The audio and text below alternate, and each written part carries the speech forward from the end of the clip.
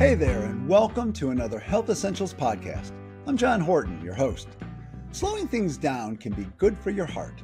A simple way of explaining why beta blockers are so commonly prescribed. The medication dials down your heart rate and relaxes your cardiovascular system. It's the ultimate chill pill and a cornerstone treatment for a wide range of health conditions.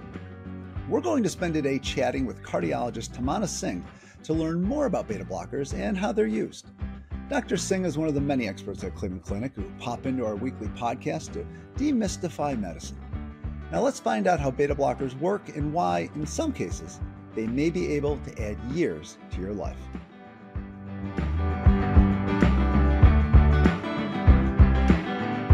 Dr. Singh, it is always great to see your name on the guest list. Uh, I just love that this has become a regular thing. Oh my gosh, I love it too. I love talking to you. Well, we, we love that you come in and give us a little bit of time. Um, and today, uh, you're here to talk with us about beta blockers. Um, and I got to tell you, I love that this medication is referred to in some circles as chill pills, uh, given the effect that they have on the heart. Uh, can, can, you walk us through kind of how the medication can help your ticker stay uh, cool, calm, and collected? Cool, calm, and collected. I've actually never heard the chill pill uh, analogy, but I may start to use that. So thank you. Um, so beta blockers are a class of medications that block beta receptors. So if we had to describe beta receptors, there's a number of these receptors on different organs, and we can focus on the heart. And these receptors tend to get stimulated or activated by stress hormones. Stress hormones commonly are things like epinephrine or norepinephrine. And once these little suckers bind to those receptors, they start to rev up your heart rate, rev up your blood pressure. When they act on our blood vessels, they cause constriction of those vessels. Um, so everything kind of gets heightened and stressed and, you know, quote unquote, alive, right? So beta blockers kind of prevent that all from happening. Instead of allowing epinephrine and norepinephrine to uh, attach to beta receptors, these blockers block those suckers and they prevent this increase in heart rate, prevent this increase in blood pressure. So they um, certainly do kind of help people get more calm, cool, and collected. Yeah. So it sounds like it kind of kind of tamps down that that, that adrenaline level that that people might feel when things get, get when they get worked up. Exactly. Okay. So why would someone be prescribed a, a beta blocker? Because I know we all kind of have that adrenaline that hits. What makes somebody a candidate to kind of get those? Yeah, so we use beta blockers really in in different ways for different individuals. So since we're talking about the heart, the most common reason we may use beta blockers is to help enhance oxygen delivery to the heart muscle, which typically occurs between heartbeats. So you can imagine if we slow down the heart rate with a beta blocker, you have more time, and there's more time between heartbeats to amplify that oxygen delivery to the heart. So for people who have heart attacks, we really want their tissues to heal um, for people who have weaker hearts, we might want to try to help those hearts improve and function. And so beta blockers can certainly do this. Wow, that's what so by slowing it down, you just you increase kind of the amount of oxygen going through and kind of let the heart kind of catch up with things and really get everything that it needs. Yeah, this is the best way I think beta blockers can be used for people who have some impact on the actual function of the pump. And the pump function can certainly be impacted by actual disease within the heart muscle and then certainly by the plumbing. You know, if the plumbing's not working right, the pump's not going to be working well or the pump might be failing. And so beta blockers can actually help with this process that we call it reverse remodeling, where they can help to um, limit the amount of heart cells that may die. They help to improve the function of the heart, all by just enhancing oxygen delivery to the heart muscle. Now, the other wow. systems that we think about within the heart that beta blockers can be helpful for are you know, when there is any issue with the electrical wiring, the electricity of the heart. So I'm talking about arrhythmias, abnormal heart rhythms. I'm talking about skipped beats or premature beats. You know, anything where we may need to slow down the heart rate or subdue, suppress some of these arrhythmias. Um, those would be situations where we may also lean on beta blockers. And then I think one of the final things I'll say is, well, you know, it can be related to the heart, but you know, sometimes we have individuals who have generalized anxiety disorder, or maybe people who become fearful of speaking in front of the public and they start to get a little sweaty, their heart rate rises. Beta blockers can actually be very helpful for people who have anxiety. So that's another way that we can use them. See, another reason to call it a chill pill. I mean, it just it, it does fit. Yeah. So, Um, when we're talking about beta blockers in the heart, um, you, when, when, you think of heart issues, blood pressure is always a, a huge thing. Um, are beta blockers used to kind of control that? You know, beta blockers, I think in the past may have been used more um, aggressively or more consistently to control blood pressure. We have a lot of other first line antihypertensive agents, agents that control blood pressure. There are some beta blockers that are quite effective in helping to reduce blood pressure.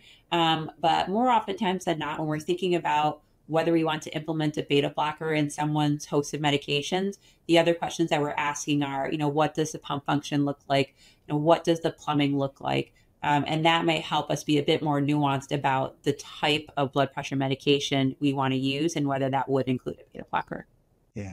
It's just so wild that you take this medication and basically you're just you're trying to slow the heart down almost so it can concentrate a little bit more on what it's doing and, and really make sure it's working correctly. Oh, certainly. I mean, I think beta blockers have been around for decades and decades. They are a mainstay um, of therapy, particularly after acute heart attacks when we see impaired heart function, meaning the heart's weaker because part of it's just not moving well. Um, it's part of what we describe as guideline directed medical therapy for individuals who have quote unquote heart failure or some um, compromise in heart function again. Um, and like I mentioned, it can be used for electrical disturbances with the heart. So there's so many ways that beta blockers can be impactful. Um, they're they're definitely incorporated in all aspects of cardiology. And it sounds like they're very common. Like if you've had a heart attack, is it pretty routine then that you just you get put on beta blockers afterward? It really depends upon the heart attack. You know, back in the day, I would say that after most acute heart attacks, people would be on beta blocker therapy for, you know, about three years or so. But what we're finding now is those beta blockers could be the most impactful for people who've had heart attacks that have impacted heart function, meaning the heart function has become weak.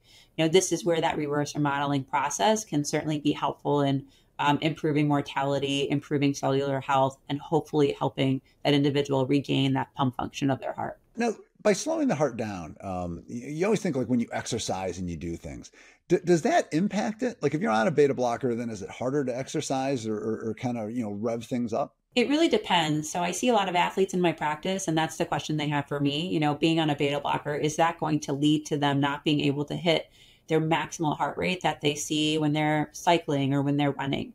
Um, and it really depends. And what we found in our athletes is that they're quite well um, they're tolerating low to moderate doses of beta blockers quite well. There are some individuals who may say that they feel like they're hitting a wall when they're getting to maximal intensity efforts because they just can't get their heart rate as high as before. Because as I mentioned, one of the ways beta blockers work is by preventing your heart rate from increasing as it would with sympathetic surges. Exercise is a sympathetic driven modality. What that means is heart rate needs to go up, blood pressure goes up to help you um, actually do the activity that you're trying to do. So, so that is, you know, one of the things that I often will hear. In terms of causing fatigue or lethargy, you know, sometimes some people's some people have lower resting heart rates, and when we add a beta blocker, it makes their resting heart rate so low that they do feel a bit tired. They do feel a bit fatigued because that heart rate is just physiologically too low and not high enough to allow for that person to do what they would do on um, do their activities on a daily basis. So it really is kind of, you know, trial and error for that particular population, but most people tolerate these meds quite well. How common are beta blockers? Because, like you said, they've been around a long time. So, is this, I, I, you know, how many how many people are on these? You know, so according to the Cleveland Clinic, about 30 million people in the United States are on beta blockers.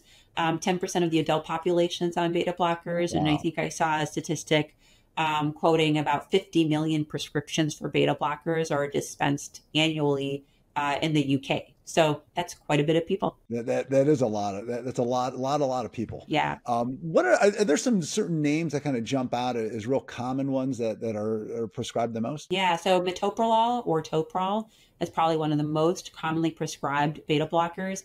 Um, carvedilol or Coreg is another one. That one's a bit more impactful on blood pressure reduction than metoprolol. Um, labetalol, propranolol, really anything that ends in lol, nebivolol, yeah. uh, nadolol, bisoprolol. I could go on and on and on. They, they have all these names, and I wish they just gave them like real simple names, but they're always a little complicated. Yeah, that's true. now, now, now we've kind of touched on, on the whole safety of them, but but you know, I, I want to kind of look at it a little bit more because you know, as we've all heard uh, when you listen to those uh, medication ads, you listen to the, them rolling through the fine print, there there are issues. So so what sort of side effects you know, might you deal with when it comes to beta blockers? Yeah, you know, I think the one thing to remember is that every medication has a side effect, whether it is listed or not listed, because we're all individuals who are going to respond to medications very differently. This medication has been around for decades and decades and decades, and it's been very well studied, very well integrated, not just in the cardiac space, um, but even in the neurological space. Um, and even you know in other um, organ fields. So that's one thing that I really wanted to emphasize.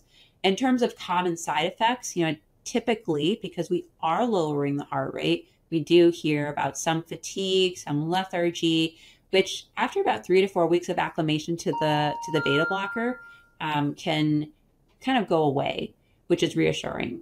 Um, the dizziness can come from perhaps blood pressure that is a little too low on that dose. Um, I think from a male perspective, we certainly can see erectile dysfunction or sexual dysfunction. Again, quite minimal, but that's certainly you know one thing that my male patients will ask about. Um, dry mouth. I've definitely had a handful of individuals endorse diarrhea. I've had very few individuals talk about having nightmares. This is actually probably maybe in my younger uh, individuals. I haven't heard of nightmares in my older population of patients, but um, that's certainly one anecdotally that I've heard. But um, outside of you know maybe fatigue, dizziness, perhaps feeling cold, um, those would probably be some of the most common side effects. Right. Do you have to worry about interactions with other medications you might be on? Uh, it certainly depends. You know, I think um, if you're taking this medication with other heart rate lowering medications, there's certainly going to be um, really not the best combination.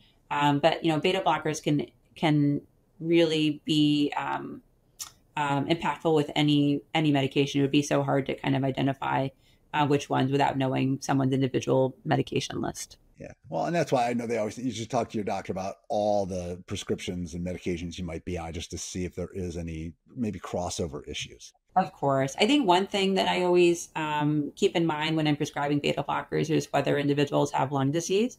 So things like asthma or COPD, um, chronic obstructive pulmonary disease.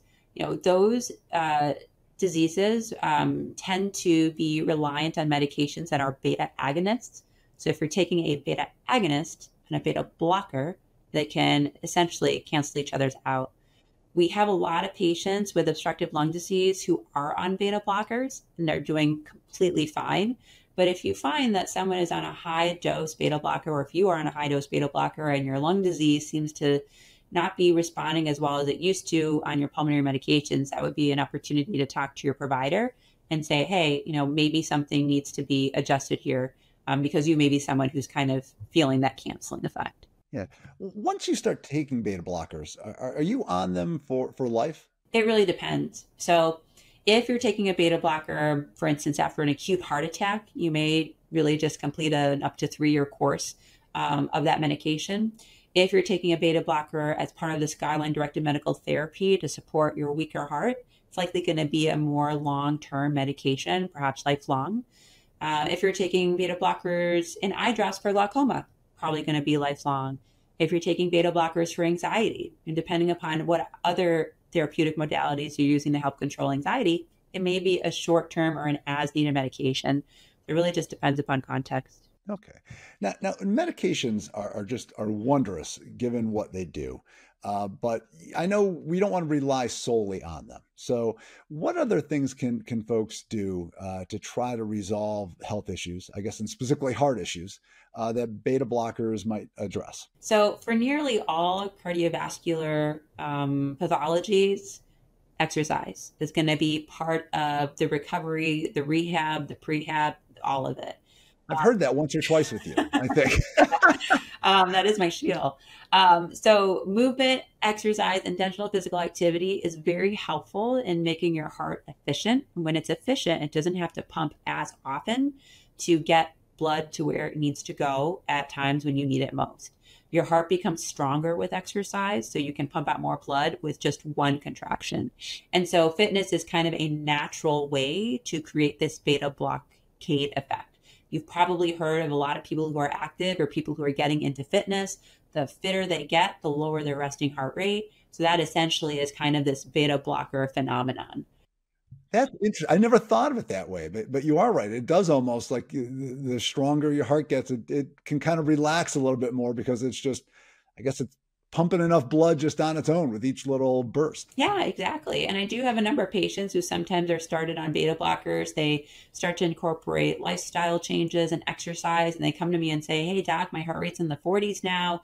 Before it was in the 60s. Can I come off of my beta blocker? And I essentially say, hey, you know, you are really kind of optimizing oxygen delivery to your heart by having lowered your resting heart rate, you know, and then we can make a shared decision making to, to stop it if, if that's appropriate. Um, other ways that exercise can be helpful outside of lowering your resting heart rate. Again, it really improves oxygen delivery not only to the heart muscle, but to the rest of your body. For people who have heart disease, the reason why we want people to exercise after heart attacks or for people with heart failure is because we can actually enhance blood flow to the heart muscle by generating tiny little vessels called collaterals. And this system of collateralization can often be, you know, a um, a backup for for that individual with significant heart disease by now having new routes of blood flow to the areas of the heart that just weren't getting adequate oxygenation. So there's a whole host of cardiac phenomenon that can come from exercise alone. Yeah, that makes that makes total sense. Um, so, so Dr. Singh, if we're your patient, how would you go about explaining why taking a beta blocker may be a good idea for our overall health? And from everything I've heard, it's the sort of thing that could even extend life expectancy. Certainly. Again, I think the first question is why are we using a beta blocker or why is it needed? Yeah. Why, what, what's the sell? Give me the, the elevator pitch, I guess, as to why this would be a good idea to take. Yeah. The elevator pitch, I think, would vary depending upon who I'm talking to. So if, if this individual has an issue with the pump, so the heart's just not functioning appropriately, then the beta blocker can certainly improve mortality. Um, it can certainly help with this reverse remodeling process. Um, it can help with reducing perhaps events where people are accumulating a lot of fluid in the body or a lot of um, cardiac stress, quote unquote, in the body.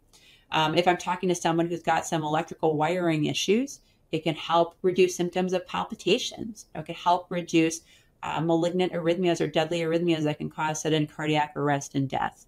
It can control early beats that may be very stressful for an individual. Um, it can even potentially control arrhythmias to the point where someone may not need an invasive procedure to completely eliminate them. Um, if I'm talking to someone who has cardiac disease or coronary artery disease who had an acute heart attack um, with some pump dysfunction, my sell would be very similar to someone who has heart failure. It can help to improve mortality, help with this reverse remodeling process, perhaps help your heart get back to quote unquote normal. So there's so many benefits from from beta blockers from a cardiac perspective. Everybody does not need to be on a beta blocker. It's not necessarily a risk stratification tool or risk reduction tool. It's really most appropriate in specific settings.